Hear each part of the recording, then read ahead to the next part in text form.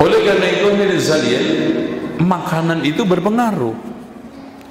Hati akan menjadi keras kecerdasan hilang dan mengundang tidur serta melemahkan ibadah.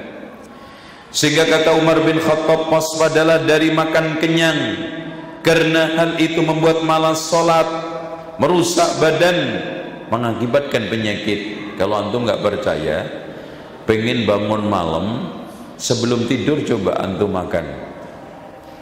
Satu gorengan tiga mie goreng satu piring sama emping tambah satu biji durian. Tidur. Bisa bangun berat. Duh.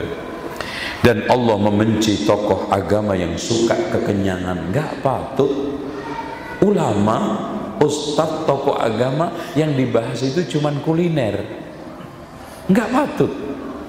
Makanya di sana ada ungkapan dari ulama jannibu majalisakum dikrot ta'ami wan nisa.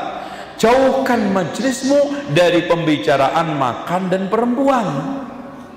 Orang itu kalau yang dibahas majlis ke majlis obrolan-obrolan perempuan makanan perempuan makanan nanti ujung-ujungnya hasilnya jumbleng jenengan ngerti jumbleng itu tapi kalau yang dibahas sekarang ilmu, Quran, hadis, Sahih Bukhari, Muslim, akhirnya surga Pak. Beda.